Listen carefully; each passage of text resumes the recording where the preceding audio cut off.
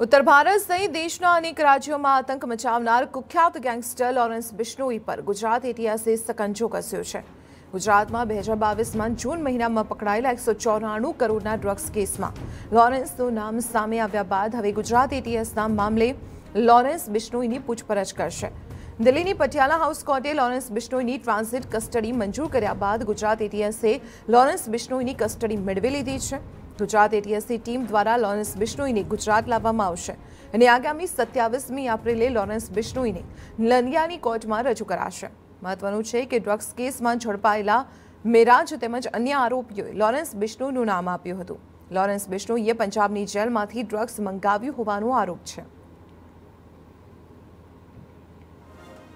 ગુજરાતમાં ડ્રગ્સ ઘુસાડવાના કેસમાં પોલીસે અગાઉ છ પાકિસ્તાની સહિત આઠ લોકોને પકડી પાડ્યા છે. ગુજરાત એટીએસ દ્વારા આ મામલે પ્રોડક્શન વોરંટ જાહેર કરાયું હતું, જે અંતર્ગત ગુજરાતના એનટીપીએસઆઈ કેસમાં લોરેન્સ બિશ્નોઈની પૂછપરછની માંગ કરવામાં આવી હતી. એટીએસ દ્વારા આ મામલે પટિયાલા હાઉસની એનઆઈએ કોર્ટમાં લોરેન્સ બિશ્નોઈની પૂછપરછ માટે અરજી કરવામાં આવી હતી, જેની કોર્ટે મંજૂર કરતા એટીએસ હવે ડ્રગ્સના કાળા કારોબારનો વધુ પર્દાફાશ કરી શકે છે. ઉલ્લેખનીય છે કે પંજાબ, હરિયાણા, દિલ્હી, રાજસ્થાન સહિતના રાજ્યોમાં આતંક મચાવનાર લોરેન્સ બિશ્નોઈએ અભિનેતા સલમાન ખાન, ઉદ્ધવ ઠાકરે જૂથની શિવસેનાના સંજય રાઉત, અભિનેત્રી રાખી સાવંત સહિત સુરતમાં પણ વેપારીઓને ધમકી આપી છે. જ્યારે કે પંજાબી સિંગર સિદ્ધુ મુસ્તેવાલાની હત્યા પણ લોરેન્સ બિશ્નોઈએ જ કરાવી હતી.